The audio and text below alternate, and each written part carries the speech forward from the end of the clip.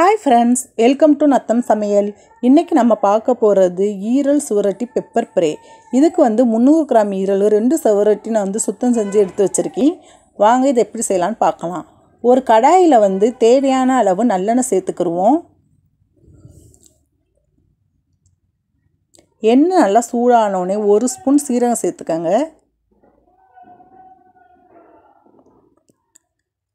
சீரகம் பொரிஞ்சதும் ரெண்டு வரமிளகா வந்து இது கூட சேர்த்துக்கலாம். இது நல்லா எண்ணெயில் பொரிய விடுங்க. இப்போ நான் ஒரு பெரிய வெங்காயத்தை பொடி பொடியாக நறுக்கி எடுத்து வச்சுருக்கேன். இப்போ அதை இது கூட சேர்த்துக்குருவோம். வெங்காயம் நல்லா எண்ணெயிலே வதக்கி விடுங்க.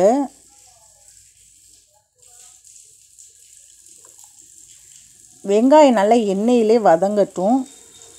இப்போ எங் வெங்காயம் நல்லா வதக்கியாச்சு. இது கூட வந்து நம்ம இன்றைக்கி ஒரு ஸ்பூன் இஞ்சி பூண்டு பேஸ்ட் எடுத்திருக்கோம். அதை சேர்த்துக்கலாம்.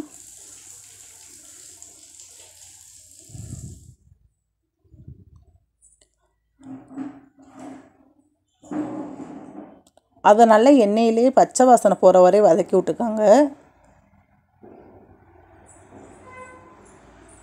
இது கூட வந்து ஒரு தக்காளி வந்து நான் பொடி பொடியாக நறுக்கி எடுத்து வச்சுருக்கேன். அதை சேர்த்துக்கிருவோம்.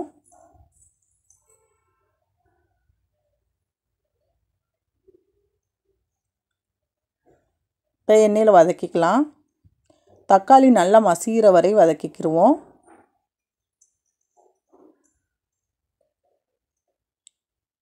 தக்காளியும் வதங்கியாச்சு. இப்போ நம்ம எடுத்து வச்சுருக்க ஈரலும் செவரட்டியையும் இது கூட சேர்த்துக்கிடுவோம்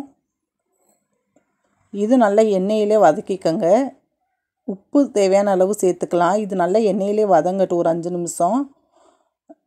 இப்போ ஈரல் செவரட்டி பார்த்திங்கன்னா ரத்தத்தை வந்து இன்க்ரீஸ் பண்ண வந்து இது வந்து உதவும். நம்ம ரத்த லெவலை வந்து இன்க்ரீஸ் பண்ணும். ரத்த சோகையை வந்து போக்கும். குழந்தைகளுக்கு இப்படி கொடுத்தோம்னா ரத்த சோகையே வராது.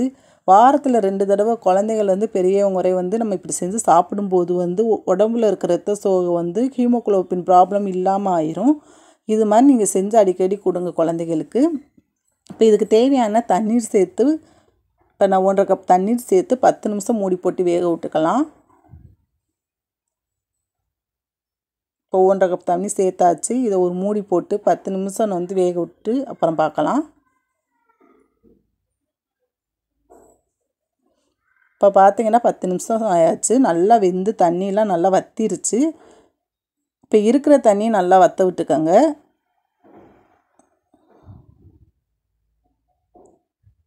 இப்போ வந்து நம்ம வந்து இது கூட வந்து ஒன்றரை ஸ்பூன் வந்து மிளகு வந்து நல்லா இடித்து நான் வச்சுருக்கேன். அதை சேர்த்துக்குருவோம். உங்களுக்கு வேணால் தூளாக நீங்கள் சேர்த்துக்கலாம்.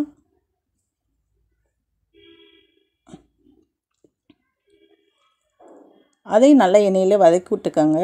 இப்போ எல்லாம் நல்லா வதங்கட்டும்.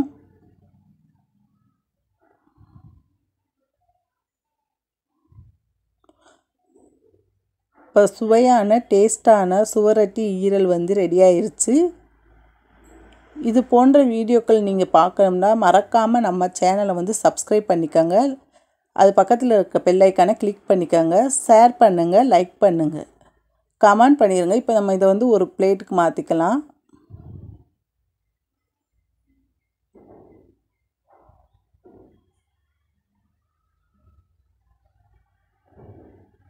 பாருங்கள் பார்க்கவே எப்படி இருக்குன்னு. சுவையான டேஸ்டான எம்மியான வந்து ஈரல் சுவரட்டி பெப்பர் ஃப்ரை ரெடி